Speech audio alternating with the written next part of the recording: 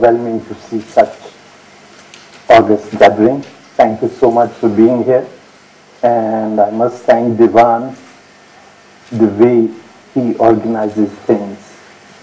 Being the senior most in Lalit Kala, he works like an ordinary labor, gets into every detail, and the way he makes a difference is so amazing that I have been telling him since yesterday, enough is enough, it looks good, it's going to be fine. And still he said, no. Till midnight last night he was still engaged, you know, in connecting with people, you have to do this, you have to do that. I get, guess, you know, perfection means Diwan Manna. And thank you so much, Diwan, for doing so much. You see, the first principle in photography is, they say, if you are not close enough, your photograph is not good enough. Now, if I sit here close enough to my photograph, I am sure I'll get merged. कि दुनिया मुझे ढूंढे मगर मेरा निशान कोई ना हो बहुत सारे ਕਲਾਕਾਰ ਜਿਹੜੇ ਹੈ ਉਹ ਉਹਨਾਂ ਦੀ ਦੁਨੀਆ ਉਹਨਾਂ ਦਾ ਕੰਮ ਦਿਖਾਈ ਦਿੰਦਾ ਹੈ ਸਮਝ ਆਉਂਦਾ ਹੈ ਕਿ ਉਸ ਦਾ ਹੈਗਾ you know as Khalil Gibran said these children about our children these children are not your children or my children they are the life's longing for itself which is such a beautiful expression similarly I would like to say these images are not my images. This is how I like to exist and do my work. These images are not my images. They have to have the life's longing for itself. इसलिए कि दुनिया मुझे ढूंढे मेरा निशान कोई ना हो वो जो एक artist with big ego with big presence with trademark In photography, I feel it doesn't work that way for me. I don't want to have my trademark. क्योंकि हर कदम पे जिंदगी रंग बदले बैठी है रूप बदले बैठी है expression energy is changing all the time And when we get stuck to this idea of me doing it, the me overpowers and be almost becomes a heavy element in every works that you do.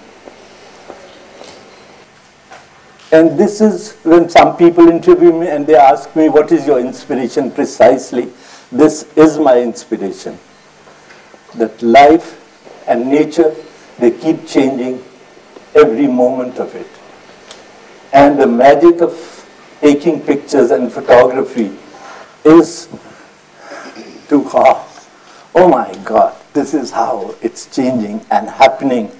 And within those known familiar situations, there is so much to take. And then what do you do?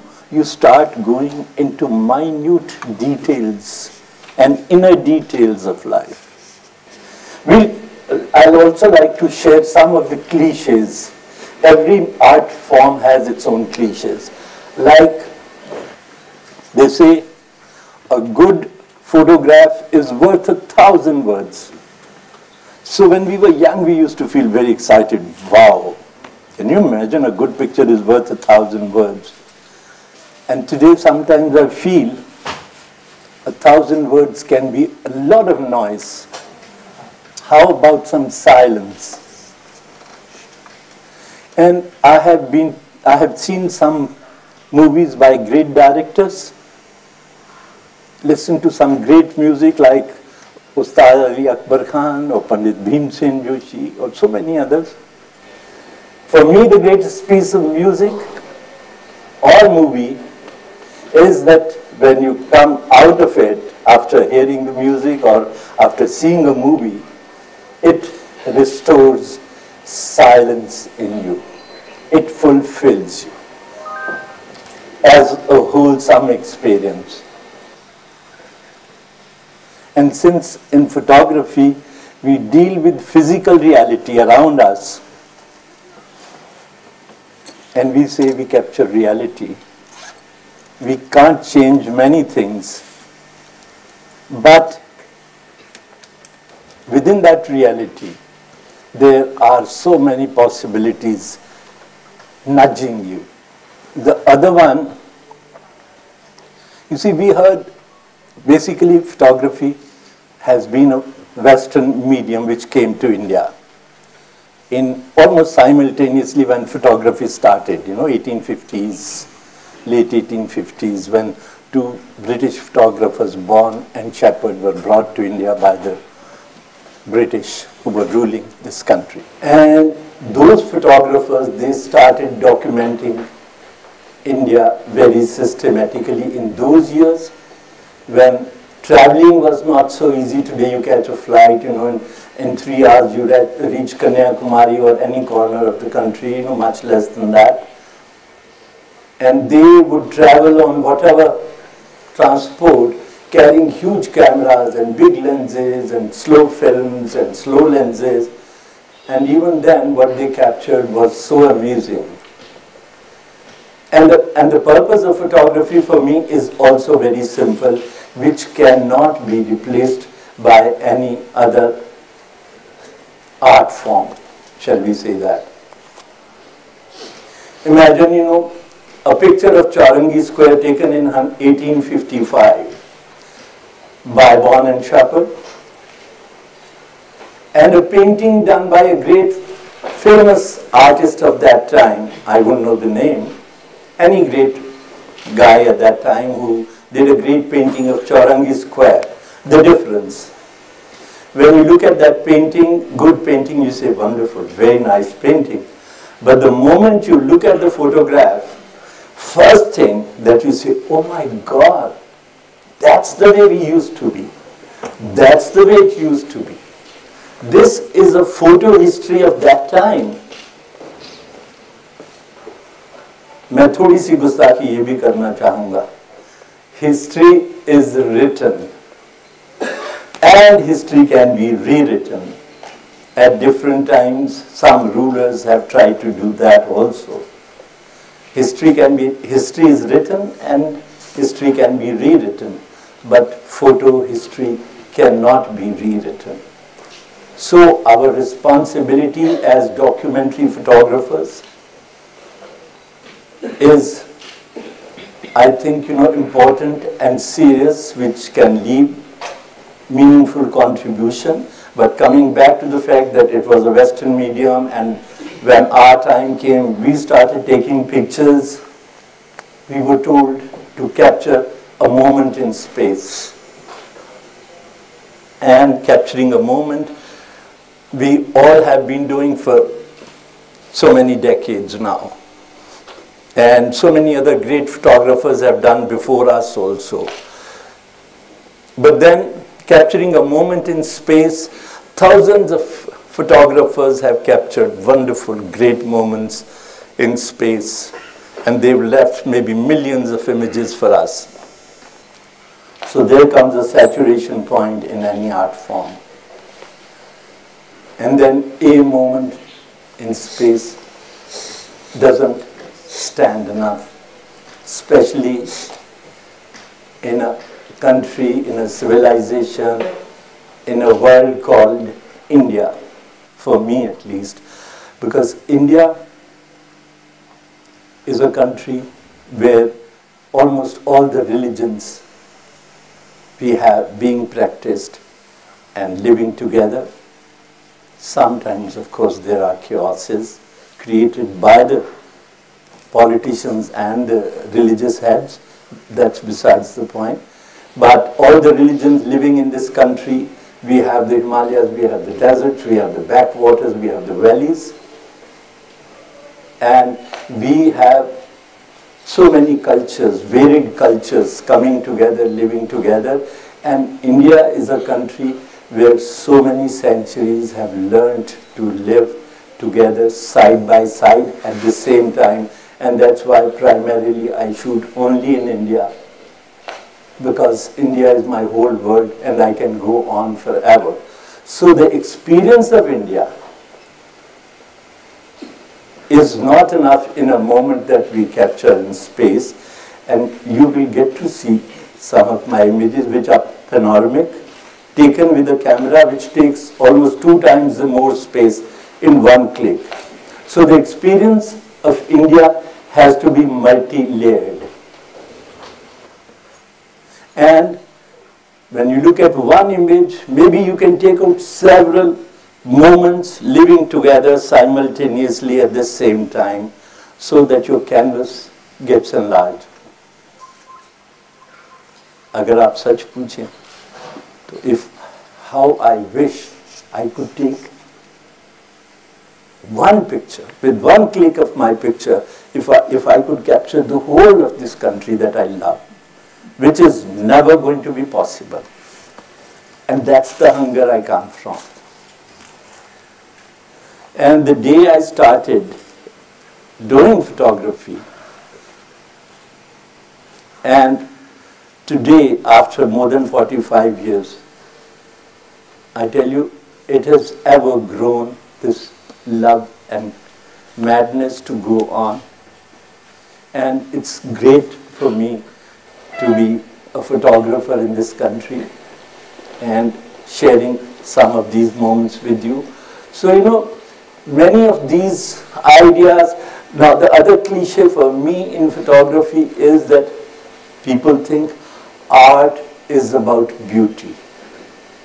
All that is pretty and predictable is anti-creativity.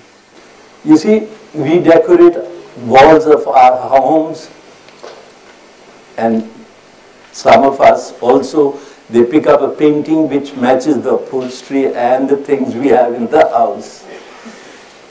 People pick up interesting, colorful, happy, snappy, nice pictures. Mama feels good about the sun. The sun has brought such a colorful picture. But creativity is, it's anti-creativity to be taking pretty, predictable pictures. All that is beautiful like Himalayas will always give you beautiful picture. And a beautiful child in that wonderful dress and in that moment, if he's given you nice expression, is good enough. But creativity lives beyond these things.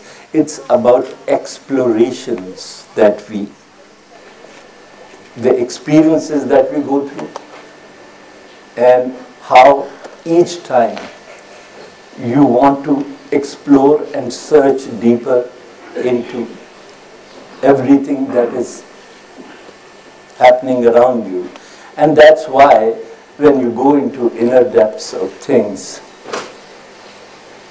and sometimes young photographers, they look at my pictures and they say, but how can you get so much? I say, I don't get it. When I make myself available mentally, physically, spiritually to the situations and I wait, and nature is always kind enough to give me a nudge and say, hey, come, take this, here I am for you.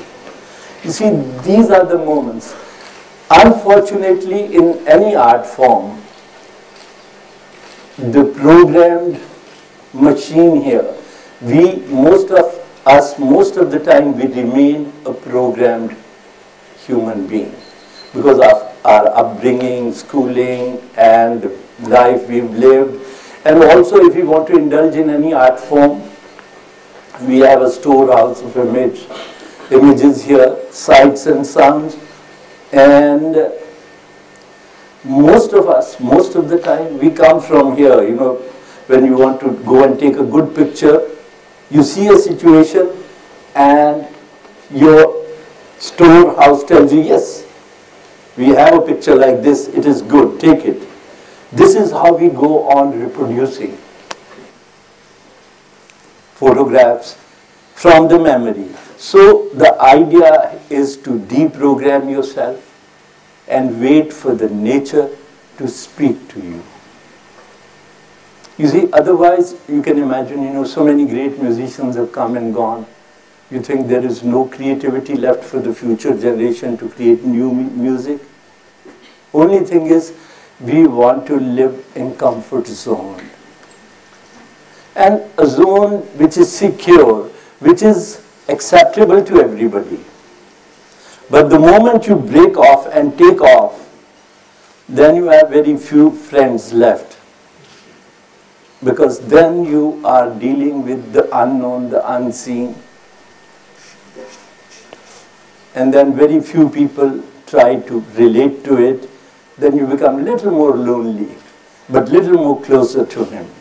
Because finally it's him, whosoever that guy is, I don't know his name, because giving him one name is not enough. I call him the supreme energy. I have seen Ali Akbar Khan Sahab playing Rag Des Malhar.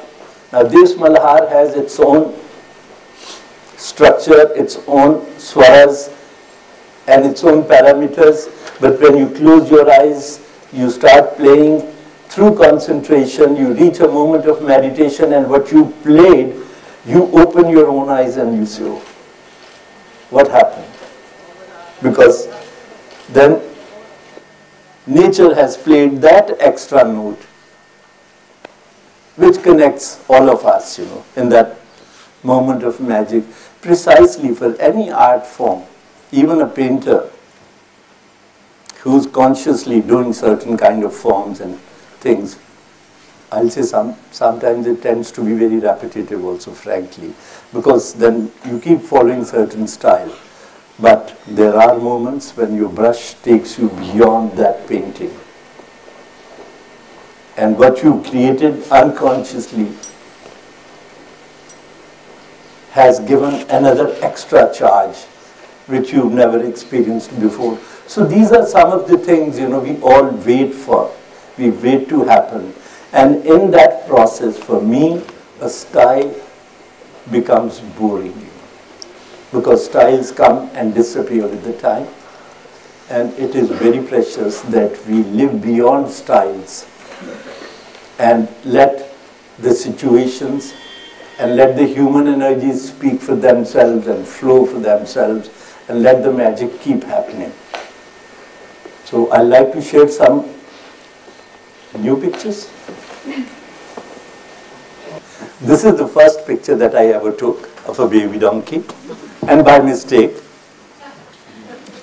And the, the interesting story is that, you see, my friend Yog Joy, unfortunately, who's no more, who was a very good photographer and a wonderful human being, he was going to his village to take some pictures. He was photographing children over there. The first time I asked my brother, I said, since I am not doing anything, give me a camera, I'll also take some pictures. And he was taking pictures of children and I was watching him, enjoying myself. It was late evening. And then I turned around and saw this baby donkey standing there. And looking so funny and so cute. And then I wanted to take a picture and I had an ordinary camera and I wanted to get close to it. And the donkey started running. And then children, they started giggling and laughing and clapping. So then I, you know, started running behind the animal so that children can have great fun. So they were clapping and laughing and I was chasing this little thing. And finally it got tired and stood there in this feeding landscape. And I took this picture. Why I like to talk about this is because, you see, when I did this, I had no responsibility of being a photographer. I had no liability of proving anything. So it's out of sheer instinctive response that you saw something so interesting, so gentle, so cute and funny. And in fact, this was the picture which got published in London Times, half page with my name on it. And those were the years and that was a big kick for me, so I thought, why not? You know, I should take some more pictures. But what was very interesting for me, that each time I picked up, picked up a camera and put it there, my energies, my focus I could see more concentration. I could look at the work with greater concentration. And my explorations began Uh, can we have some light on all of us so that you know I can relate to faces and eyes? You know, I'm a photographer. I like to see things. There are slides would be No, no, there'll be okay चला दीजिए जी light थोड़ी सी थोड़ी सी तो दे दें lights अंधेरे में बोलना थोड़ा कम कर दीजिए इसको अगर हो सकता है चलिए अच्छा let's see the new work because these are old pictures and I don't want to talk about them and some of us am sure you attended my earlier workshop so it should be something different for all of you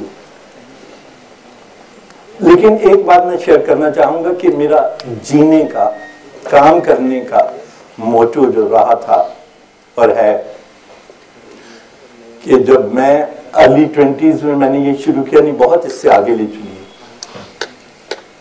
rocks और clouds का और आगे ले चलिए तो मेरे बड़े भाई साहब, पॉल साहब, शेर शायरी में भी काफ़ी उनकी दिलचस्पी थी।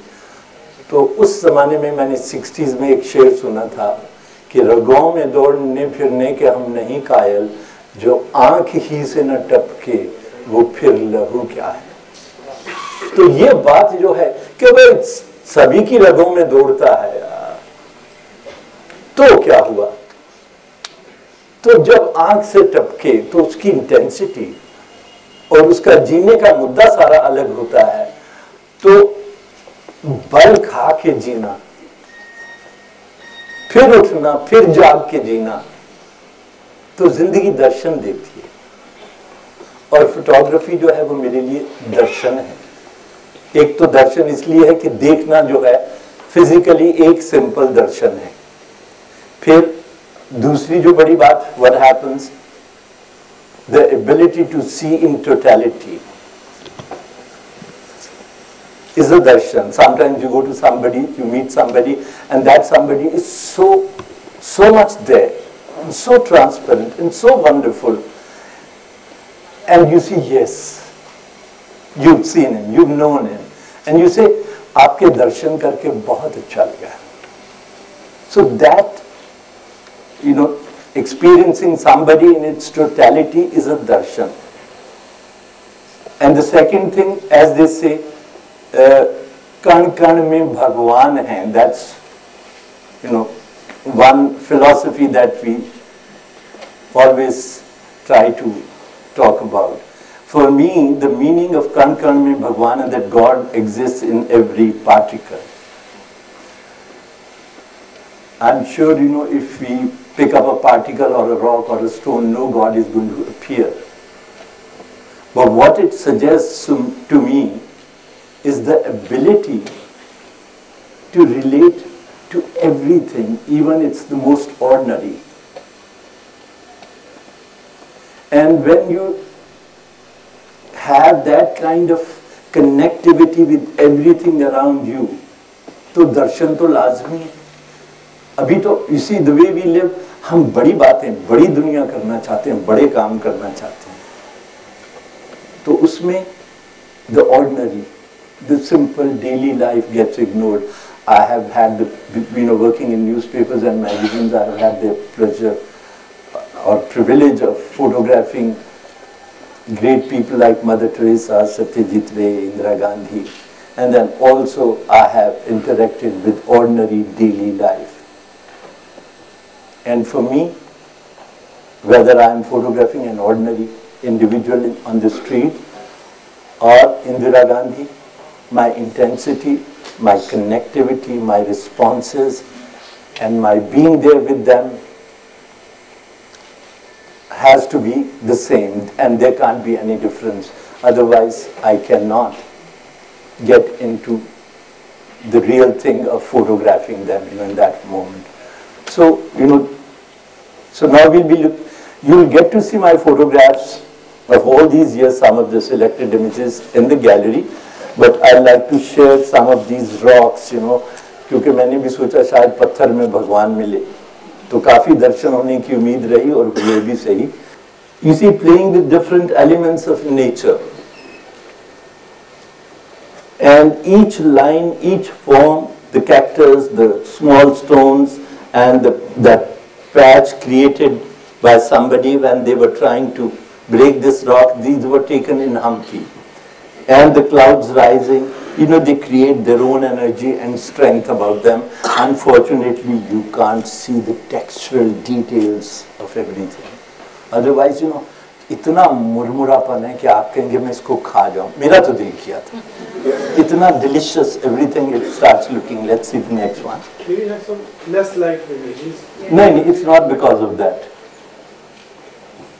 ये भी देखिए if you look at this you know the rocks in the foreground and that one rock in the centre is bleeding this black coming down you know everything that comes into your space matters and then the way these gray and uh, um, black black and white of the rocks merging into the space and then there was a huge rock right above me so the image must have its own kind of mystery, an element of newness, of strength, and of another kind of aliveness, you know.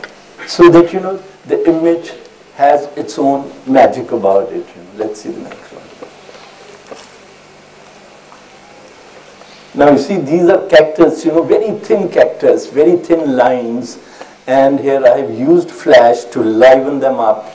And then that group of rocks sitting on top of each other as, as if some great sculptor has done the sculpture, you know. By the way, I think, you know, God, the things He's created, you know, are so amazing. that If you really look at any of the birds, you know, we see them from a distance. But if you see them from close quarters and you get into the details, you wonder, you know, he was such a creative genius. Every time he created a bird or an animal or a tree or a flower or any one of us for that matter, is so amazing. You know. And, and these structures are created and they are standing there like masterpieces of that time, you know. Next one, please. If you if you look at the clouds and the rocks together, there's so much of you know forms and textures and energies working together. And here on the road with the white lines, you see the dog, dog walking away so coolly. The next one. You see the, the, the uh, center of the rocks, the texture, the forms, and on the left hand side you see the clouds. The feeling is the same on the right hand side also in, this, in the clouds. And then each line, as I said, matters in, a, in your frame. And this man on a mobile, you know, right on that line in the center of the space, you know. Next one. You see what is written on this rock in Tamil, I don't know what it says, but if you look at the cloud on the right hand side above the road, you see the feeling is the same, the resonance of forms and textures and feelings. This is, uh, you know, this is my uh, assistant who was carrying my bag, and these are dry uh, plants, you know, and he was going through them, and suddenly I saw that on the left hand side that female form. So I thought it was very interesting, you know, and this guy, the way he was bending, looked very strange to me. This is very simple, the way these rocks are hang hanging between the two. You see, uh, this, these are, uh, these, these, earlier I used to carry two cameras, one for color, one for black and white.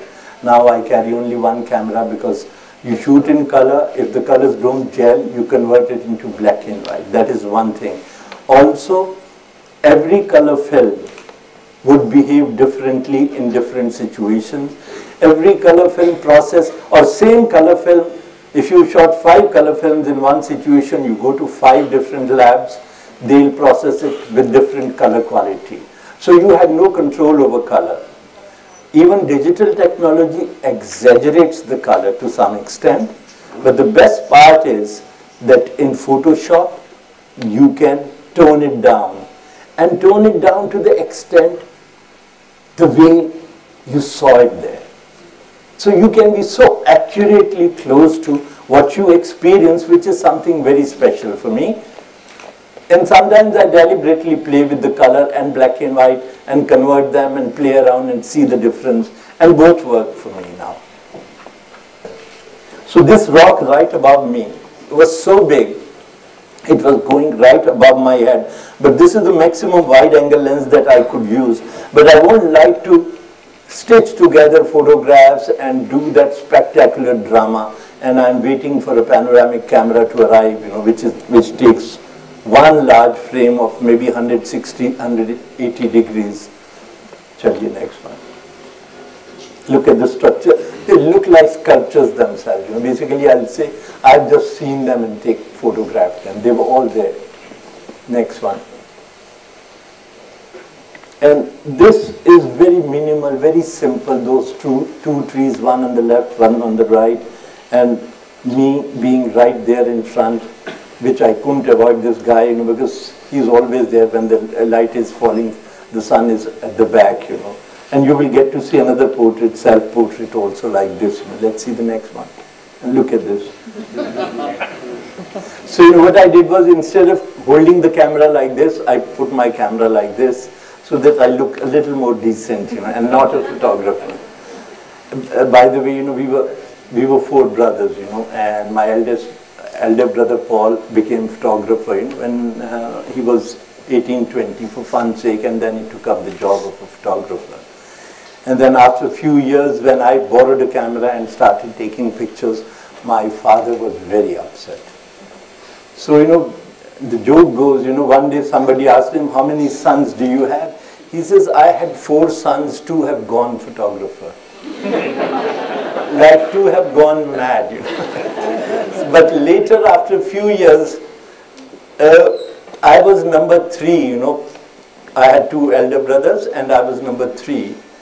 And my father used to have one or two drinks every evening, but separately. And the sons, you know, they didn't do this in front of their dad, you know, like in all our families we used to do.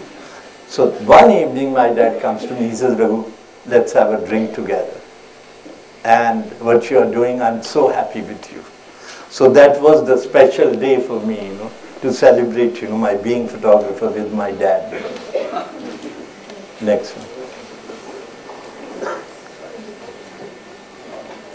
You see, now I have started chasing clouds.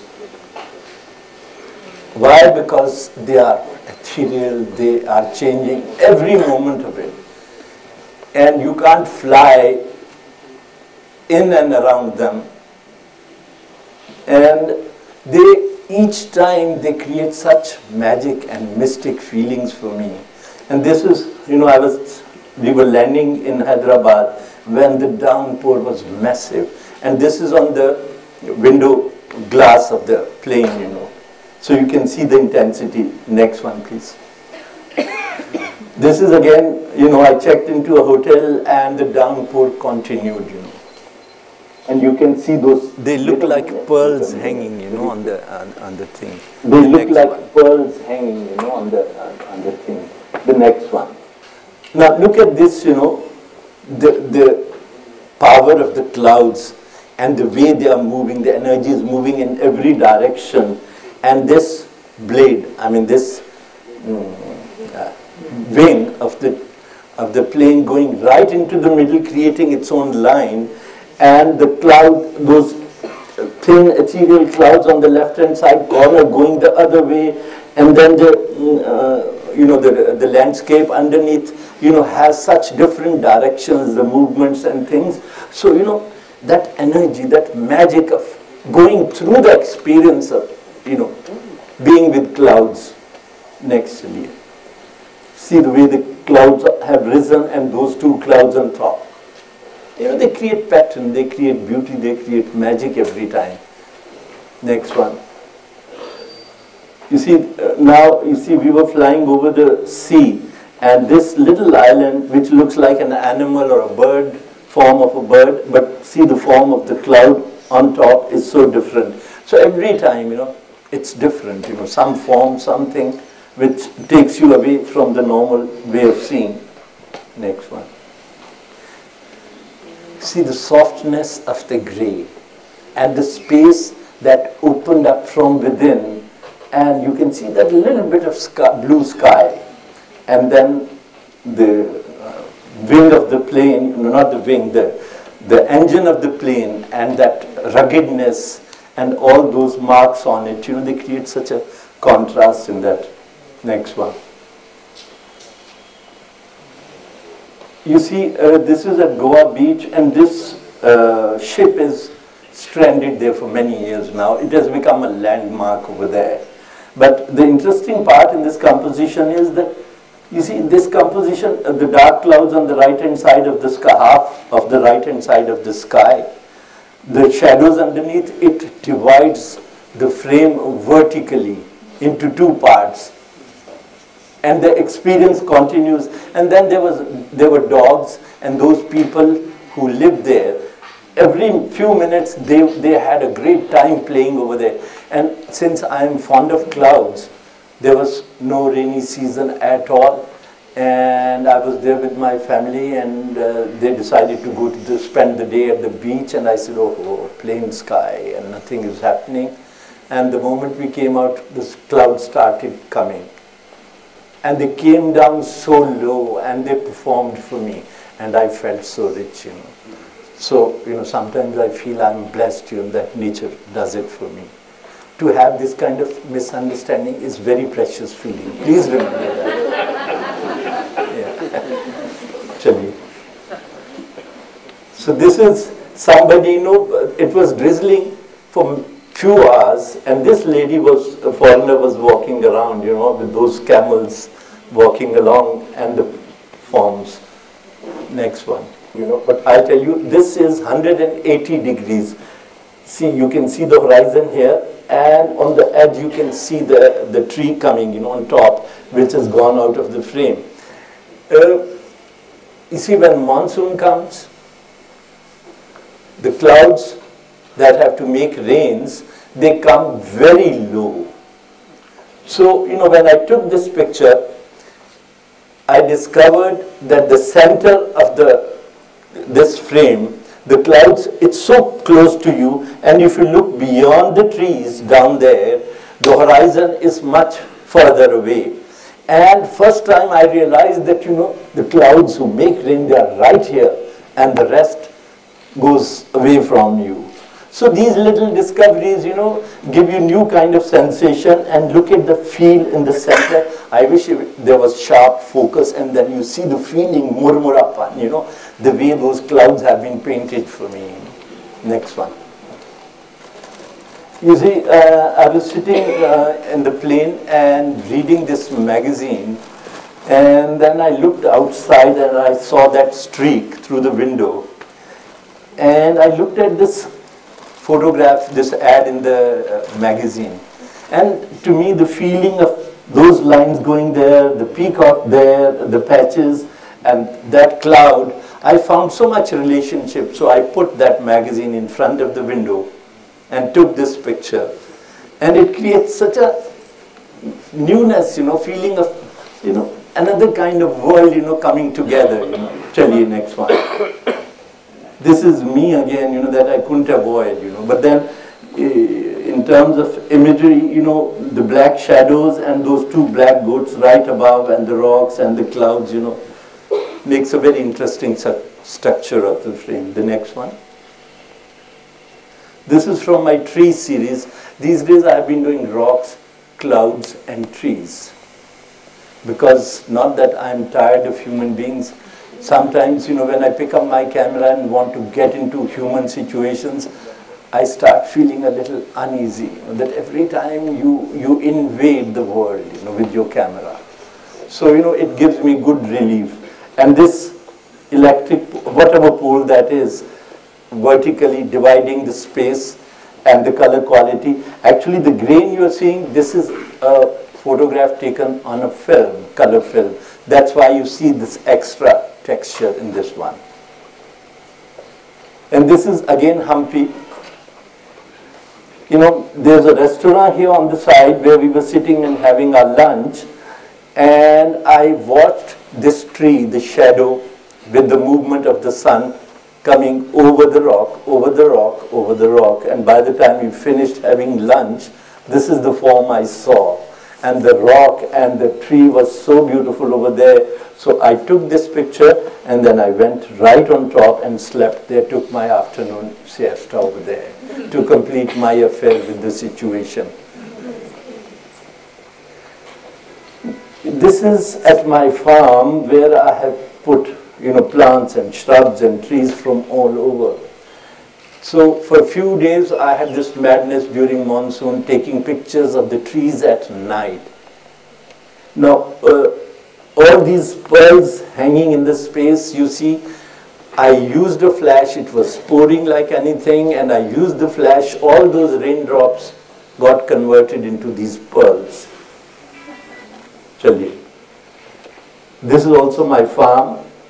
These are uh, bottle brush trees. Now uh, the stems are very strong and those soft long branches hanging and the farm is there we have Aravali around it and we are right in the middle and when the breeze comes it's so strong and then it plays magic with the trees you know so what I did was I gave long exposure. So all the branches are in movement swaying and creating as if you know they've been painted there in green. And if you look at the stems and the bridge it's sharp and clean. So to capture the power and the energy of the winds.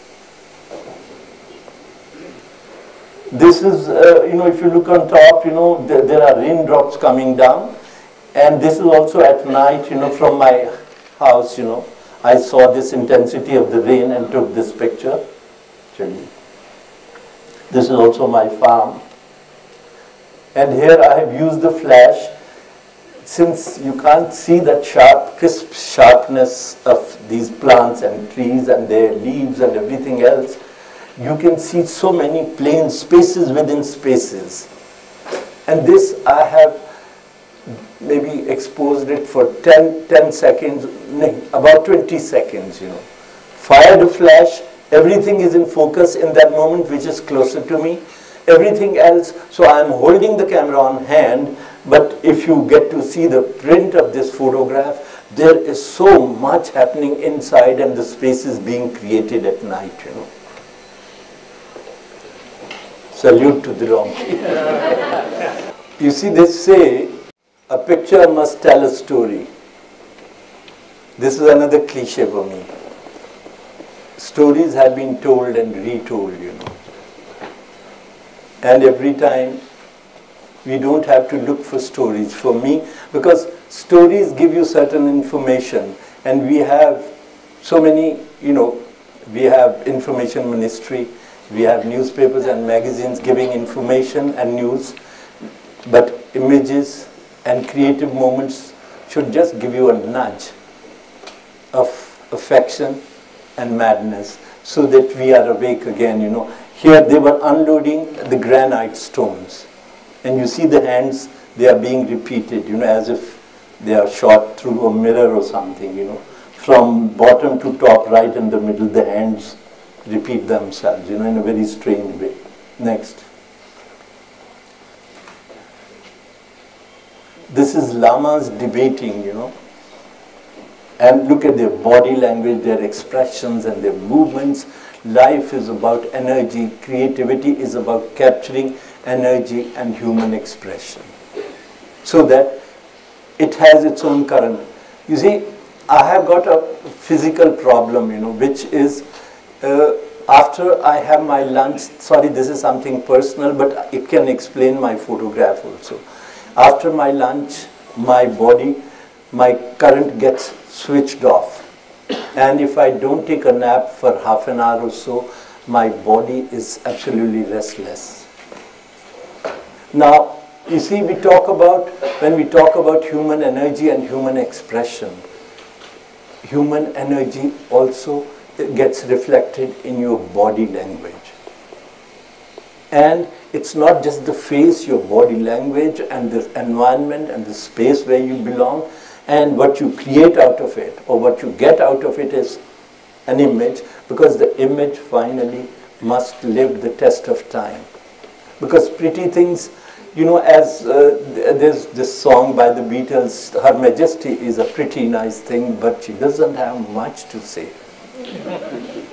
so, you know, these things, that the image must live for itself. Next one. This is an akhada in Delhi, and they had painted the doorway also with the pahalwans. So you can see the rest, you know, it doesn't need any explaining, but the colors are also very strong here. G. This is Churchgate uh, railway station in Bombay. One Bombay photographer has done a very good picture of this Churchgate, which I always admired. Then came another photographer friend from uh, Brazil and Paris, Sebastian Salgado. He was doing a story on India and he did a very good picture, different picture of Churchgate railway station. So when I was doing this, the, the challenge was that those two strong images that I have seen, this should give you a different experience. So if you look at it carefully, that man standing in the middle, in the center with a newspaper, those people sitting on the benches, they are sharp and the trains are sharp. But the, the magic part about Churchgate railway station where the local trains come every two minutes or three minutes. And in that, the moment the train stops, there's a human deluge, you know. And in moments it disappears, the platform cleans up again. So this is the experience, you know, I had to capture. Apart from being different from what I had seen before. Chaliye. When I was photogra- you know, doing a book on Taj Mahal, you know, the storm came, the rain came, and see the intensity and the way these figures holding their saris and their whatever clothes, you know. This is at Osho ashram every evening. You see, this misbehavior of mine where I get somebody so close and I speak to young people, I say never give any distortion getting people in the foreground and their heads going tera or this or that. Mm, you see, I was photographing that situation, those tire shops selling, selling tires and those guys standing there. And then I saw people, you know, the, the street in between, the, the traffic moving. So I wanted to have that motion going. I didn't have space because this man was sleeping right in the middle. And then I turned away from it and I looked at his expression and I said, wow, you know, this guy is in such a deep sleep. You know, I've got no right to wake him up or disturb him. So I included it. And this image gets published everywhere because the scale and the proportion and the experience becomes very different. I don't know whether she's shying away or what, you know, but uh, um, this is in uh, Calcutta in Kumatoli where they make all those beautiful goddesses, you know. See the his eyes, his inside is popping out, you know. This is also, you know, we were going away from Pushkar at night and the traffic, you know, full of people. So I fired a flash and especially this woman, the way she's framed, you know, through that thing and everything else moving. Chali next. Her long and strong hair, they are holding the whole uh, of the string of life together underneath, you know, for me. Chali. Now, these are, these are, you know, pictures with no story, as I said, you know. They are just moments by themselves which have their own energy and feeling about it. You feel it fine. If it doesn't touch you, it doesn't matter. Chaliye. She was having a ball. You can see that. ये निहंस का camp था पंजाब में coat कपूरा की तरफ You know, here it's play of vertical lines and horizontal lines and red and blue. look at her gesture. You know, as if she's in a dance form, you know, of some kind, and so much is happening on the left, on the right, you have the Shiva, you have the Durga, and everything else, you know. These are my panoramics, you know, Chaliye. This is in Delhi when the new constructions and new malls were coming up and these children, you know, belonging to the uh, labor class who worked there. This is in a dust storm.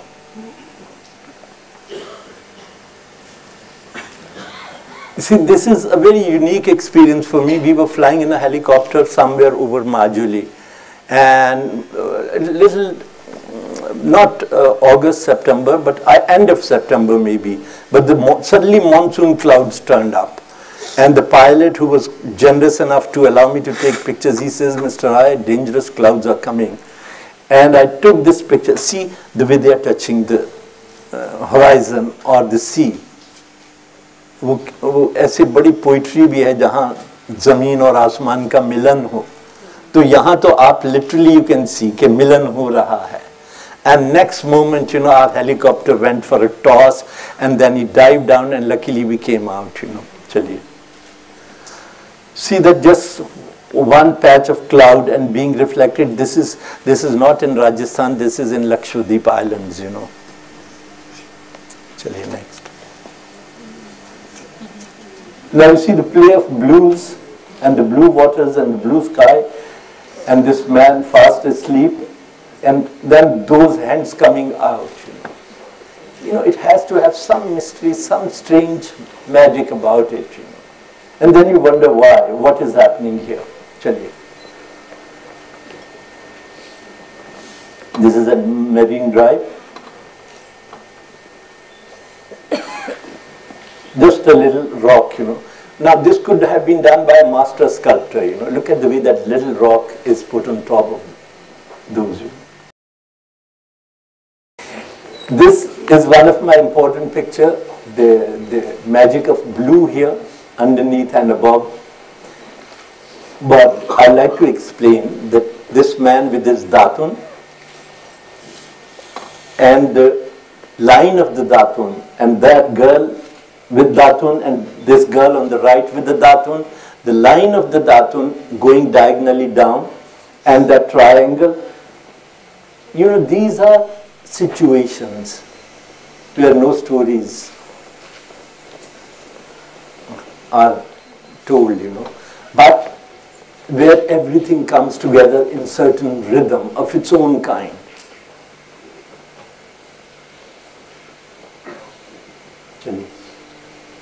This is uh, Akshar, Akshardham in Delhi, and these sadhus, you know, they were they came from Ahmedabad, their main place, and when they saw their eyes were popping off, you know.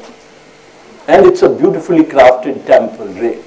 And but look at their expressions, you know. And I had these sadhus standing all around me, and at that time, how I wished I had a camera that could photograph 360 degrees, and all the eyes all around, and the form and the structure of the temple. But I could get only this much. This is on Republic Day parade, you know, this jet fighter and the pilot and that camel cavalry and Parliament House in the background. Chaliye, next one. This is at my farm when I was landscaping, you know, and then came end of June and storms coming.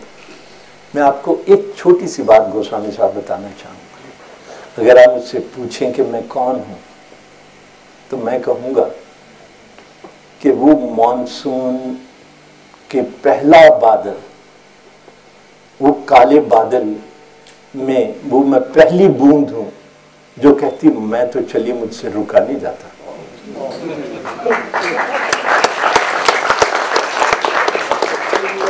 आपने कुछ कहा नहीं। मेरा, मैं सोचा था मैंने अच्छा शेर फरमाया जी next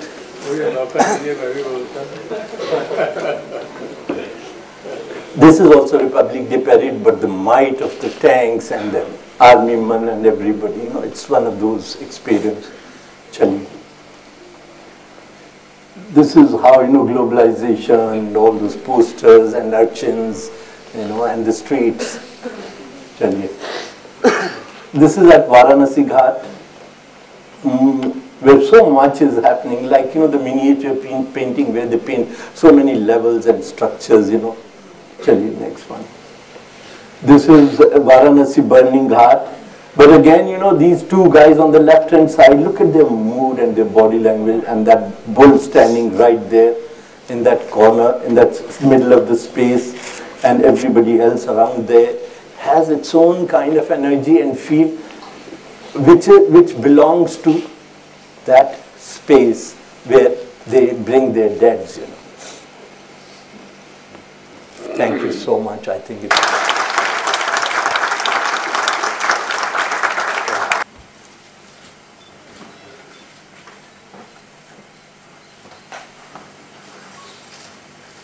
It's not easy for me to be speaking after a master artist has spoken.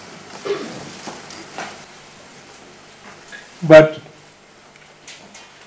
speaking of, or picking up from a couple of words which he was using constantly, the multi-layering of it, I personally have had a multi-layered experience, looking at his pictures and listening to the poetry of his words. Not his poetry, but the poetry of his words. And these are two different things.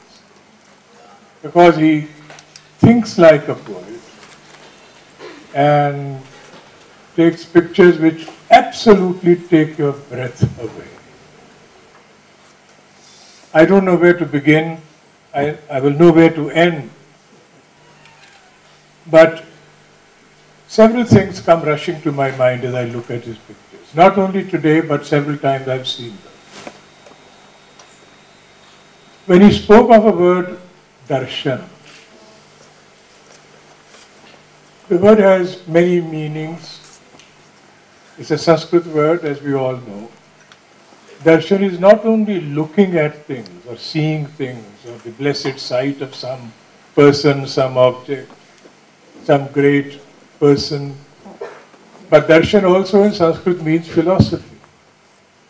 When you think deeply about a thing, when you enter the soul of things, when you really, in a certain sense, start exploring an idea and uncovering the layers that that idea contains, then you are having darshan. And that is exactly what he does with his images. No, I think it was Ansel Adams, you may correct me if I am wrong, who said there are always in a photograph two persons. There is the photographer and there is the viewer. And Raghu, if I may say so, he speaks so informally that I may refer to him as Raghu, um, takes us into the picture. And that is a unique talent. That really is a remarkable talent. Because all of us see, you know, Iqbal said, Baksha hai, haq ne bina agar tujhe. If God has given you, haq means God, didae bina, the eye to see. Baksha hai haq ne didae, बख्शा है अपने दीदा बीना अगर तुझे बर्बादी है फिजा में कयाम बहार like that. So it is a question of what kind of eye do we possess, what kind of mind do we possess? What are the riches of our minds that we can bring out when we look at objects in the, with the eyes that he does and so on. And that I think is a, quite a remarkable thing. When I was looking at this great photograph which is behind me, this complete confusion which is and the essence of India, so to speak. Then I was entering that picture on my own. And I was looking at that gentleman with the bicycle who's moving towards us next to a tonga. I was looking at the person who's behind those sort of rods, those, those pipes that he's carrying and pushing and so on. And suddenly my mind starts working like this. What is this man thinking of at this particular moment? What is going on in the mind of this particular person who's struggling hard to be able to push this and so on? And that is the magic of a photograph like this and a great many of the kind that he has taken himself. Somebody said very nicely that poetry tells the truth, but tells it at a slant. At a slant. Photography tells the truth, but tells it like it is, like this. I am being very complimentary about the art of photography, even though he was taking pot shots at the world of painting all the time. Um, uh, even if a painter were to do this, or this painting wouldn't have been nothing compared to this photograph, that's fine. that is fine you. No, I'm a great admirer of photography as an art. I'm a great admirer of your photography in particular. What does it do? What is it opening in front of our own eyes? Now, these photographs that he took of the great site called Hampi. And the, the extraordinary images of these rocks which he constantly speaks of as God's sculpture, so to speak, which is left for us and so on. But it takes an eye to see them. You know, there is a wonderful two couplets of Faiz Ahmad Faiz come to my mind. The desire, this burning, endless desire to get closer to things. कई बार इसकी खातिर जर्रे जर्रे का जिगर चीरा मगर ये चश्मे हैरान जिसकी हैरानी नहीं है। Countless times I taken an atom and sliced it again and again and again but this wandering eye of mind keeps wandering what else could there possibly be in it कई बार इसका दामन भर दिया हुस्ने दो आलम से मगर दिल है कि इसकी खाना वीरानी नहीं है। I've taken the wealth of the two worlds and poured it to the lap of my heart, and yet my heart manages to stay empty, asks for more. So this Chashme Haira, this Hairani, not Hairani of the ordinary kind, not surprise, but this great sense of wonder that he has and other great photographers have had in the past and so on, and continue to have and so on. This ability to keep wondering at that is all that is around ourselves, is what makes of the kind of experiences that he brings within our I do not want to take more of your time and certainly not Raghu's time, and you have a great deal ahead of you to see. But let me offer a gift. And the gift is of a poem by a great poet called Ahmad-Nadeem Qasimi. Since he said, he confessed that he is very fond of clouds. This, this poem is about clouds. What is it? मेरे कमरे के दरीचे के मुकाबिल बादल तैरते तैरते रुकते हैं, सरक जाते हैं। जिस तरह अतफाल चमनजार के छतनारों में तितलियाँ ढूँढने आते हैं, भटक जाते हैं। मेरे कमरे के दरीचे के मुकाबिल बादल तैरते तैरते रुकते हैं, सरक जाते हैं। जैसे बच्चे फाल चमनजार के छतनारों में तितलियाँ ढूँढने आते हैं, भटक जाते हैं। अभी जाने किस जज्बा तखलीक के बहलावे जाने किस जज्बा तखलीक के बहलावे हैं? आसमां पर ये अनासिर के मुलायम गाले। कभी पुरहौल, कभी और, कभी ये पुरहौल पहाड़, कभी उजले, कभी धुंधले, कभी यकसर काले। अभी एक सांप सा निकला था। अभी एक हिरन लोब बिल्लौर का एक कला नमोदार हुआ। और ये कला जो बिखरा तो कुछ ऐसे ढब से देखते देखते जंजीरें गिरा And then he says in the second part of the same poem, मेरे कमरे के दरीचे के मुकाबले इस वक्त एक कड़ी तक भी नहीं कुछ भी नहीं कोई नहीं। मेरे कमरे के दरीचे के मुकाबले इस वक्त एक कड़ी तक भी नहीं कुछ भी नहीं कोई नहीं। आसमां अब नज़र आता है कुछ ऐसा वीरा जैसे ये फ़सल मशीयत ने कभी बोई नहीं। मैं कहा हूँ मेरी तन्हाइयों, मेरे ख्वाबों, मेरी मजबूर मंगो मेरी प्यासी नज़रों? ये कोई जीस्त का लम्हा है कि सकरात का पल is a moment of time of life और is it a moment of agony कि मेरे माहौल के कोहरे में जरा झांको तो मेरे सांसों की सदा, मेरी घड़ी की टिक टिक इस कुचलते हुए सन्नाटे से क्या उलझेंगी? और जब से आबाद हुआ, जब ये दरीचे का शग जब बादल आएँगे जब से आबाद हुआ जब से ये दरीचे का शिगाफ उलझने मेरे ख्यालों की तभी सुन तो clouds rocks people, men and women the panorama of life, the agony and the ecstasy of watching chaos at work and so on and so forth is what he brings within our reach. And I can say with all of you, I'm deeply grateful.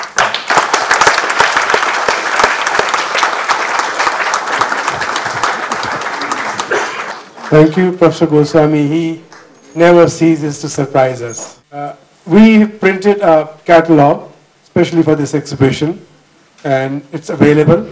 And we'll request Raghuji himself to release this catalog, uh, associate to collaborate with Raghu Rai Foundation. This is a collaboration between Chandigarh Lalit Kala Akademi and Raghu Rai Foundation, which we are very proud of, and we are very honored, privileged and I don't really know many words which, which can describe my feelings at the moment because I'm really, really very overwhelmed. As Professor Goswami told us that there is this kind of sense of wonder which this man never, never stops to have. Any, any single moment in his life I've not seen done. It is, it is so very precious for us that you are here and you spare so much of your valuable time these days. And one of the shows is going on in Calcutta, one was there in Pondicherry, another one in New York. He's traveling all the time and he's complaining to me today that for the last one month I have not done anything. I said, you're doing so much. You're exhibiting everywhere. You're preparing your photographs. You are preparing the catalogs and everything. But he said, no, when, when I shoot, when I take the pictures, that is the work. And he feels so restless. Even after 45 years, you can imagine how many times he must have clicked the shutter. Those moments, thousands and thousands of times, and he still finds something something unique in life, in nature, which, which he still thinks there is something new which he can create. He asked a question once to Jatin Das in one of his, the dialogue between him and Jatin Das, that Jatin, you are painting for the last more than 40 years because they are almost similar age. Then tell me, why do you keep painting now? I asked him the same question. ये दिल है कि इस दिल की खाना वीरानी नहीं जाती। वो गैप भरने के लिए मैं जीता हूँ। देखिए जैसा मैंने कहा थैंक यू जैसा मैंने कहा कि एक क्लिक में मैं पूरे देश की एनर्जी और स्पिरिट कैप्चर कर जो कभी नहीं हो तो ये वो एनर्जीज हैं जो तुम्हें बुलाती हैं। ये वो बादल हैं जो तुम्हारे लिए आते हैं और तुम्हें दर्शन देते हैं। आ, हमारे बहुत अच्छे दोस्त थे आप भी उनको जानते होंगे, वो यहाँ भी उन्होंने वर्कशॉप की थी। Basu Bhattacharya the film maker तो बड़ी अच्छी फ़िल्में बनाते थे और ज्ञान भी बहुत था उनमें। Very knowledgeable deep knowledge and he was a great story teller so one evening I was sitting on the terrace of India Today when I was working with them because it was evening time and the clouds and the winds were amazing and I wanted to be with it, you know. So I was sitting upstairs. So he came to my office. Somebody directed him to the terrace. So he came and I said, Basuda, see what's happening in the skies. Amazing. So he looked at it and then he started talking. As usual, he was he had to share a story, you know, something interesting. But that evening I was not ready for it. So I said, Basuda, shall I tell you something? The whole sky and all the clouds the, and the breeze belongs to me. It doesn't belong to anybody. So he says, what do you mean? I said, दादा आप आए हैं और आप बातें करना चाहते हैं साइलेंस की ज़रूरत है उसके साथ जीने की वो हमारे एक दोस्त का बेटा था वो कहता था जब घर में रसगुल्ले आते थे कहता था गुल्ला गुल्ला तू खा ले माँ रस में तो हमारा रस जो है बादलों से आता है जीने की मस्तियों से आता है जो जिनके मतलब नहीं जिनकी खाम खा की लालच और ज़रूरत नहीं जो यूँ ही चली आती हैं। तो ये बातें जो हैं ये कभी खत्म होंगी। तो कैसे हो सकता है? दूसरा मैं थोड़ा सा कहना चाहूँगा कि गोस्वामी साहब ने एक आ, मेरे पे इल्ज़ाम लगा के चले गए।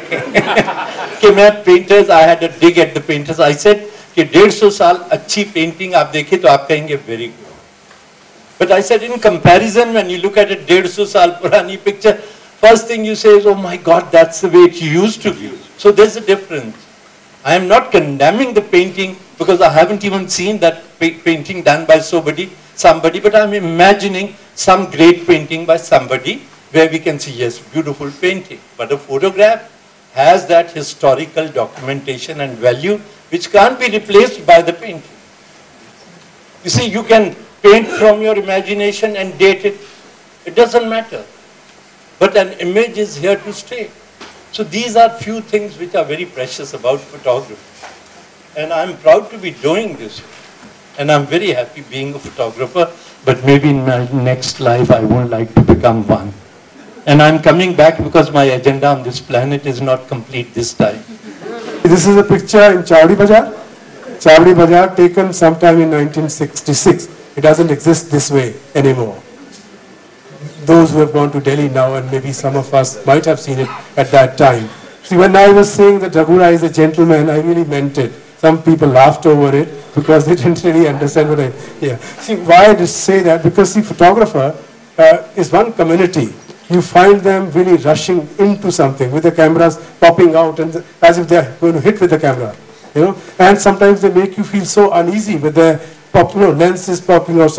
And some of them actually carry such huge, large zoom lenses with, with you know, uh, hoods around that that they're really scary. But he was asking me this morning, we were going through his book Varanasi, and he was telling me very gently, Diwan, look at these, this crowd, I'm so upfront, I'm so close to them, but not even a single soul or a single eye looking into the camera. And there were maybe few hundred people in that picture. So that is what his speciality is. He's a gentleman where he moves into the crowd, amongst the crowd, and moves in such a supple way, in such a rhythmical, lyrical manner, that people around him don't feel scared of him he did sometimes even forget that he's there. That is the special gift which he has, that to make himself not being there. That is, that is what, what Raghu Rai is. That's why I said he's a gentleman, because he does not behave like a normal documentary you know, uh, recording photographer who actually imposes into somebody else's space. Without imposing, he is able to share those very special moments with us. Thank you so much, Raghuji, I just ask, like to ask you a question that we had cameras, at least uh, in my times, maybe earlier yours, say from the 50s, I also started photography with a baby Brownie Kodak camera. And it carried on covering marriages and etc. etc. You had various lenses, telephoto, close-ups, uh, and manual uh, adjustments. Now we have the age of digital. And here also you got into various uh, modes of lenses. Now, in your experience, what do you feel? Was the earlier time a better time to uh, grasp all these images and the actual colors uh, and the actual colors which were there? But now with digital, as you said, with Photoshop, you can change the colors. So do you think you should change the colors and actual thing what you have taken, as you said, what you saw that time, you still recap? And uh, uh, now with the digital, you can do anything. You can uh, change from fair to dark, from dark to fair, from put a head on top of somebody else's, and you know, and all that. So, what do you think now this change of photography? Do you feel the earlier things were better, now is better, or with the times we go along? देखिए in many cases I believe in today first of all and that was technology using films and this is also another kind of technology. That technology which we've used for me personally, I have used for over 35 years. When we used it, we used it with all our will and madness to explore and capture. But certainly if we compare today with digital technology, digital is far superior today and the amount of freedom it gives you to take photographs under any light condition, day or night or middle of the night, on roadside, inside homes, anywhere. And you can, but what I said earlier was that I, you know, even digital technology exaggerates the colors a bit. Well, what you can do in Photoshop is that you take it closer to the reality. Now you see, a knife, a butcher can use it for his purpose and a surgeon uses it for very different purpose. So how you, how you use this technology? Yes, today this technology gives you more freedom to, you know, sort, sort of implant anything from anywhere and make an image. Earlier also people were there who were doing double exposures and superimpositions and we didn't agree with that kind of photography. And even more so now because it has become far more easier. So it's entirely up to anyone to use it the way they want. But finally, finally, the purpose of photography, if we say we capture the truth, we've got no right to alter the reality even earlier when we made the prints in the dark room, we will control dark areas so that they don't go black and we bring more details into the whites. Similarly here, it, it has become far more easier to control that, have that kind of controls or even convert a color photograph into black and white. But if you say, you see, uh, converting a color image into black and white is a cheating, you know, you see, these are few rights we have. so, you know, this is how it goes, you know. But there is no end to these things, and technologies can, you know, play havoc. Technologies can give you, you know, enough control to do the magic. Everything goes on. Thank you. Thank you. Actually, see, when we are saying uh, uh, like photography, if I may, you know, intervene, uh, it's just, there's a difference between when we say it's a photograph or it's a photographic image. many painters nowadays using, you know, photography as a medium of their expression, but that is not photography. Photography, photography means, as he's saying, it's, it's, it's a historical document. You can't play with it. As a journalist is not supposed to be doing because he's capturing a moment which has to be shared with the public as it happened there without playing around with it. So, but if you're using the photographic technique, the medium, to express something else, then they are welcome.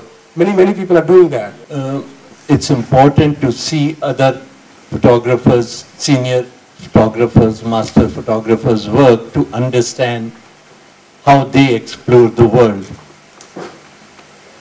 But uh, you see, all of us have influences in our early years. And if you are a regular practitioner and very, very, you know, conscious about the fact that finally creativity is a very individual and personal journey and it cannot be somebody else's copy. So, you know, I have great friends, you know, photographer friends who are great photographers and I respect and love their work. And, but when I shoot, nobody exists for me. Then I am the one in that situation because that is between me and the world that I'm photographing. That is one thing. But, you know, uh, it doesn't mean that when I said, you know, that I feel a little uneasy getting into people all over again. This happens every time I do that. Each day I do it, you know.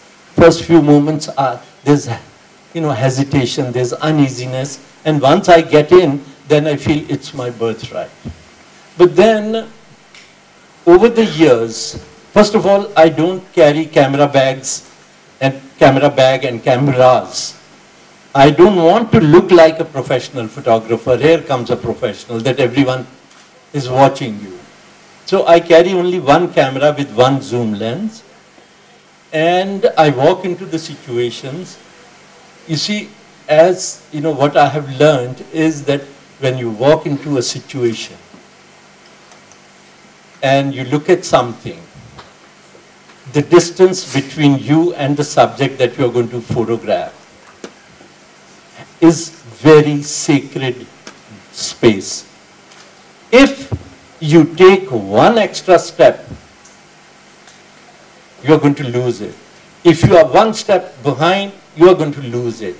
So when you practice it over the years, it becomes a sacred space and your body language and your intuitive responses make you take just as many steps and you are always almost invisible because you have melded into the situation in that moment. वो जो oneness होती है ना, you merge.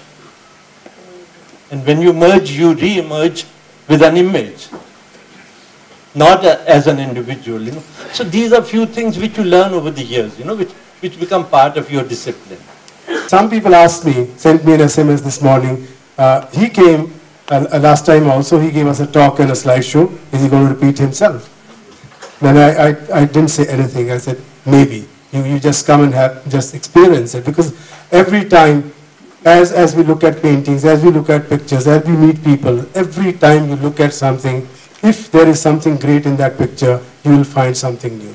Because no experience, no matter how many times you have it, can be complete. Every time you can have a different experience. So every time sharing Raghu can be different, which we have witnessed tonight, this evening. Thank you so much, everybody. And after this, we have a look at the, we'll have the, you know, Diya lighting ceremony inside the gallery.